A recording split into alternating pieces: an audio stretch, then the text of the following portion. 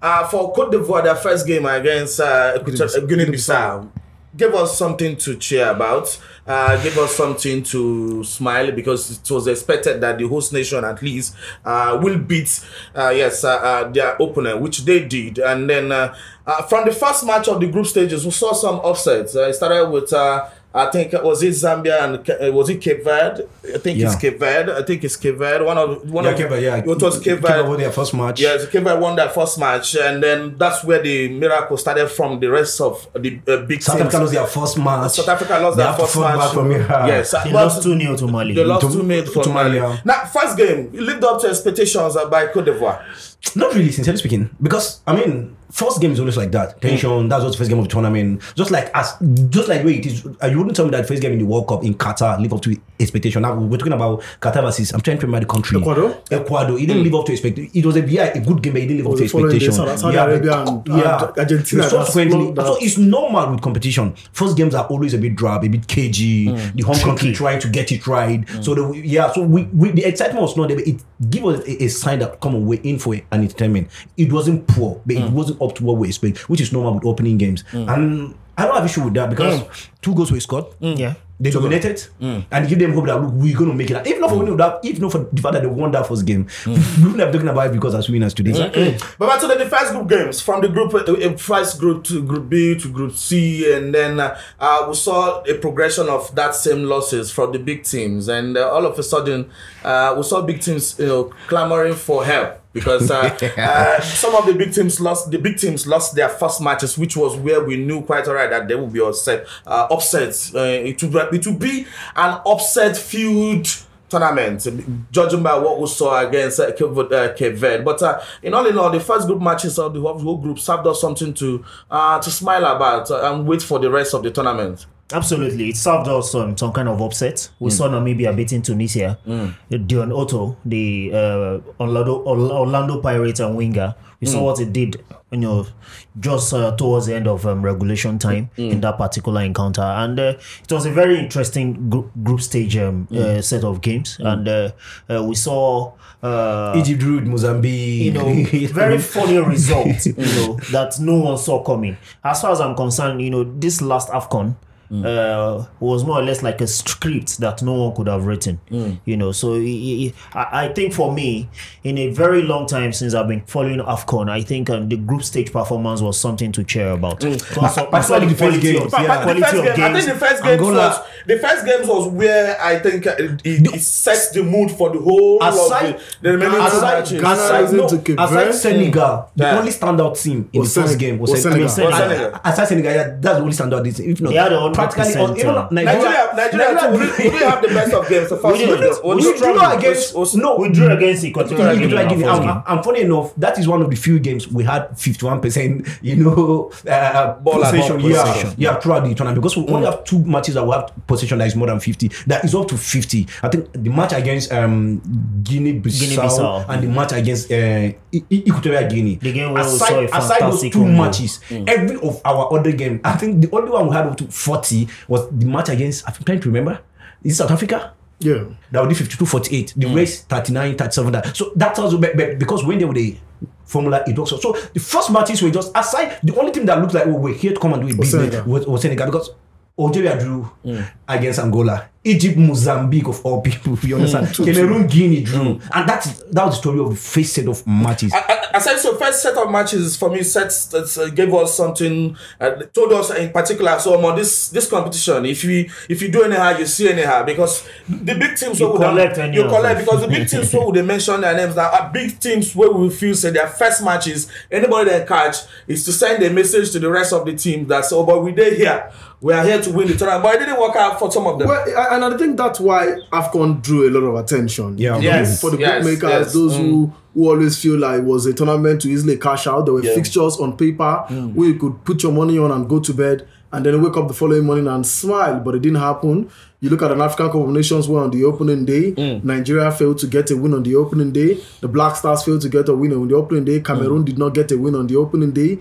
Um, Algeria did not get a win on the opening day. Tunisia did not get a win. Egypt. And now Egypt did not South get a win. Africa. Yes. South Africa did not get Sure. a win. Now these are Morocco seven of the top 10 African nations in that seven of the 10, meaning only the Ivory Coast, Senegal, and of course Morocco, Morocco, yeah, in. Africa's top 10 were able to win their first match of the African Cup of Nations. Now that sent a message that, you know what, guys, let's take chill pill. This AFCON has something to offer and did not stop until after the group until the group stage ended. It was a fantastic match they won across board in every competition. I think after the match they won, all the favorites, Ghana, this were 70% to win the AFCON. It began to drop. Senegal stock rose, Morocco stock rose, the likes of Nigeria dropped, Ivory Coast rose a bit. Verde stock rose, rose, yeah, Verde stock rose. They were always the dark horses. From 2015, Cape Verde have always announced themselves as one of the dark horses in All right. African football. But good first game round game in AFCON, and they set the pace for the for a fantastic tournament. All right. One, one thing we would agree so far is the fact that Cote d'Ivoire gave us a good, a, a good, Yeah, a good an average, yeah. a good. I Mm. mean, and of course, in terms of football, the first matches served us something to smile, Yeah, something uh, something to enjoy. Now let's let's go deep and then take a look holistically about the whole group matches and then the standing and how it finished. For a lot of big teams that we were hoping that they will do so well in the tournament, uh, most of them still fell out at a time when we needed them after the three matches in the group stage for them to survive. You know, most teams would didn't expect. For me, Ghana, I didn't think Ghana would. I didn't. I didn't think You're Ghana. talking about. I think you're going for a Ghana. I even. I mean, talking about talk about Algeria. Uh, yes. I, Talk about no, Tunisia. No, Ghana first. Ghana, Ghana, stage. yes. Tunisia, they Ghana. Ghana, Only- Ghana, I, think I think Ghana, Ghana to for a me. large extent was expected. Yeah, to Now. Ghana were in a The reason why the reason why I say Ghana, the reason why I say Ghana is Mm-hmm. the fact that uh, you know this was one like a on a wake up call for them. Let's not forget they qualified for the World Cup. You know, removing Nigeria, making sure Nigeria did not qualify. so it was building. So I was thinking maybe this is where they will build up from. I didn't even think about Tunisia because I know normally these are not African football teams. No, no, but, that's gonna but, do well. Here is sorry. Yeah. Uh, Here is this. uh, One of their key player who actually made sure Nigeria did not qualify for the World Cup was not there. It's not Yes. Thomas Partey. So Thomas I knew that's going to be a problem. Mm. He might not be the captain. He might not be the most influential player, but his presence matters a lot. Just like we've been talking about presence behind. I mean, Mm. we'll get there very soon. Behind the eh, eh, eh, cameras. His absence says a lot, and Ghana refused to actually do the right thing. Aging players, what is the still doing in that team? What is Jordan Ibe still doing in that team? Don't they? So don't they have a recruitment process? Are they not other guys actually coming? When we start giving them chance? When other countries are doing that, practically almost every other country reject their team. One thing that the, one country that refused to do that in, in, in the most critical area is Ghana. So I wasn't expecting so- so much from Ghana that Ghana couldn't make the group stage. For me, it was a normal thing. That's not true. Now, the rest of the teams, Tunisia. Now you mentioned Tunisia, big African, uh, big, but to the big African team, one of uh, uh, they have they've been doing well in World Cup. If you ask me, talking about Tunisia, they, they do well for World Cup. Not Africa generally. Not Africa in Yeah. general, but uh, were you guys shocked with the fact that after the th- after the group stage games, the big wigs packed their bag and baggages? Well, I think Tunisia was the biggest shock. If you're in a group with Mali, South Africa, Namibia, with all due respect, Mm. Tunisia should have gotten something, but it was an entirely terrible tournament. At least finish second. They scored group. just Mali Africa? one goal. That No, group is tough, no. I expected Tunisia to even be one of the best losers. Mm. Beat Namibia Okay, beat- for a right, competition where he had a chance for you to qualify as one of the best losers. A 1 0 loss to Mali, Mm. a 1 0 draw with South Africa, then beat Namibia. You will qualify at the worst case scenario, one of the best losers without any calculator. but the Tunisians scored just a goal at African Cup Nations and considered two. Mm. Now, one of the very few teams that did not win a single tournament. Now, this is vis-a-vis what you look at Tunisia in African club football. That's why sometimes when persons speak about the fact that players playing at the league that is strong, like playing at, at home, sometimes you have a shout. Then look at the Tunisian national team. If you have players who play in the Tunisian league, the Esperance of this world, and Eto'o Edouard. Eto'o Said that represent But- them, but- but, but- they struggle. But somebody- South Africa works. Somebody could Club- like fine. That's Yes, I'm I'm going to but South Africa so, worked. Yeah, because South Egypt to a large extent worked. Senegal had the entire squad foreign based, but they crashed out in round of 16. And There's no perfect formula for this. Yeah, there's no perfect formula There's for no it. formula. The Chan tournament, South Africa has never done well. But guess what? DR Congo are two times champion. Yeah. So for me, Tunisia struggled and it was As the tournament Libya as well too. it's, it's a shock, you know. It's Baba a shock, today- and I didn't expect Tunisia. to that way. today, this this is how tournaments you don't expect. This is more like a script, like you said. Nobody saw the script coming, but uh, uh, for the big guys, for the big teams, this is more like a big message to the rest of African big teams that uh, if you are coming into a, a competition like the Afcon, if you know tire rapper well, somebody go lose am for you. If you know if you know put your leg for ground, breeze go carry you. This this is a big message talking about the group stage and how it ended for the big teams.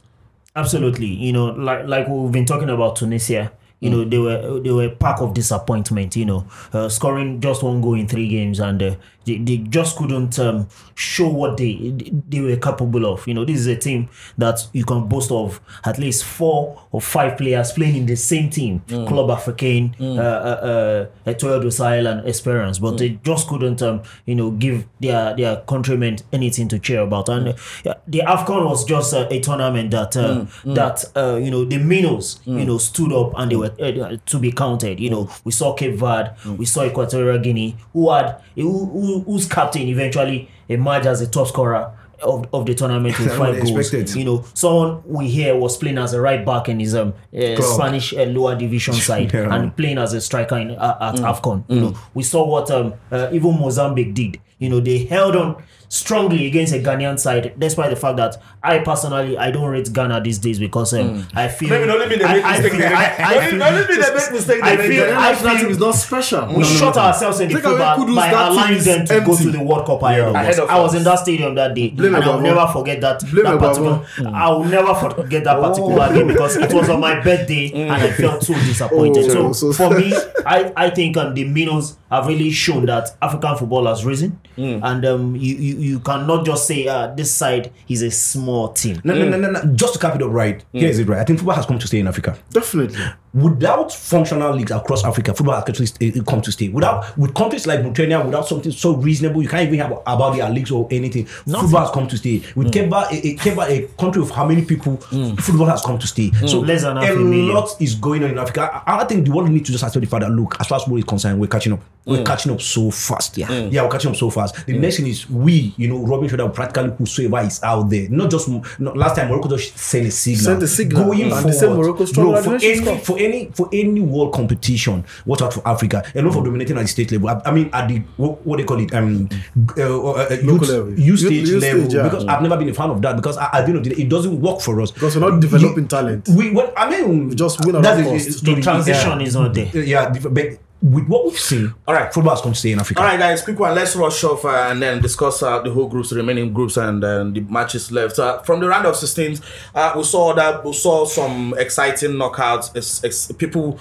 all of a sudden, people who expect them to to still remain, Yeah. uh, go home down to the semi-final with uh, Cape Verde uh, being knocked out by South Africa. Cape Verde, obviously, we thought was the shining light from the group stage, but uh, when it mattered the most, uh, and when the big guys came knocking, they couldn't withstand them. But then semi-final from the from the round of 16 to the semi-final uh, to the to the final proper we saw a good game particularly from the um, knockout stage which is the uh, Round of 16. round of 16 to the semi-final good games and of course good setting but for South Africa and Cape Verde nobody saw Cape Verde being knocked out for me uh, in the semi-final Fact, Yeah. fact. Sincerely speaking, one of the biggest shock for me, but it it, it, it all tells you. I think locks play an important role in that game because there was this last attempt from the Cape Verdeans that Yeah. if it Yeah, has in the if- game, you in the understand? quarterfinal. Yeah, Yes, and they survived that. Then in penalties, I don't know what happened. They couldn't just get it right. It's one game that I could actually put my everything that look.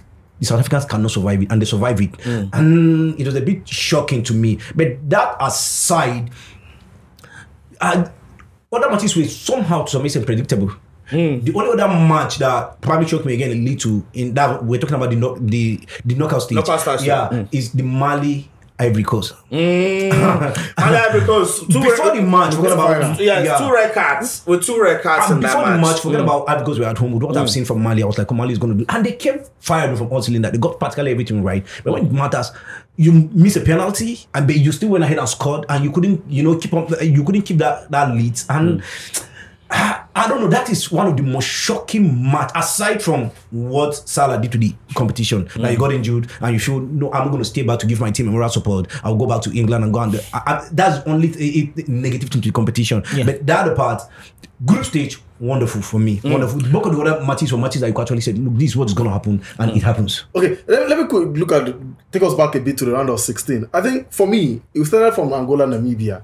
Now, in the game where Angola, to a large extent, were favourite, fantastic group stage, but they got a red card. And the Namibians were also not pushovers. They showed their strength Yeah. in the group stage, but the Angolas came on rearing and were absolutely phenomenal. And it was like, how did this happen? Happen, They knocked yeah. out Namibia Three and they went on to advance. Now look at Congo. Congo did not win a single, Single game in the group Yes, stage. I, was- I, I, on- I was actually going there. They went I on to face I Egypt. Now the the Egyptians s- qualified by let me just say By the whisker. by the, by the whisker. Yeah, by the and whisker. then when they had the chance to rewrite every wrong they did in the group stage against the Congolese, it went into penalty. Now Gabaski, the man who was the hero the, last, last time, time, at the African yeah. Nations that took them up because Egypt played penalty shootout from the round of 16 up until the final against Sen- Senegal, where they were then beaten, of course, by the same penalty shootout by the Senegalese. And it was Gabaski, the hero Yeah. of 2021, that missed his own penalty and then was scored by the Congolese and they went out. And you know, all of those You know, gave, gave wait, the. AFCON and then Equatorial Guinea losing Something to just hit Guinea. my head. I Losing mean, to Bono, Guinea. Bono, Bono that was celebrated all over the world. Bono that was up there for everybody. I'll say, oh, come on, you're one of the best goalkeeper all over the world. Look how South Africa made South Africa, look at the free kick. Bono That's was, a ball. was When When he came back to free Africa. That's one of the best goals of the tournament. Yeah, Bono was- when he came back to. Africa, he became I don't know how to put it. He became something that nobody. Those goals were particularly that that free kick was what the heck is this? So come on, you're good, but Africa Cup of Nations. can actually Maybe make leaving you Sevilla and going to the Gulf region has affected his game. Well, I, I, I, I, I will not entirely say so. I will not entirely say so. Mm. Realistically, um, you could also say Se- Senegal had a goalkeeper who did so well in goal. He plays in that same league. Talking about um, Edouard Edouard Mendy. Mendy. Edouard It Mendy. was fantastic for Senegal. He practically stopped whatever was a threat, but the Senegalese somehow, somehow against um, the Ivorians. I don't really They- know what happened. they just didn't click. They click. just did not click in that game. Probably overconfidence. It was a game that should have killed in the first forty-five minutes of the game. think that was a Every team- That was, a, in the tournament. that was a game they scored in the fourth minute. Uh, If there was a complete in that in that tournament, I think the Senegalese team is complete, the most they complete were, team in that they, year. they were, the most they complete were so complete that they had nothing hindering them. Now, for me, I think one big problem the Senegalese, one big problem that, that cost teams in this Nations Cup was the fact that teams that did not take their chances, especially against the Ivorians, went on to pay dearly All right. for it. All right, guys. Uh, uh, we are certain that uh, we got we got good game on the group stage. The quarterfinal served us something, right? Of course, uh, the knockout stages give us something. Now,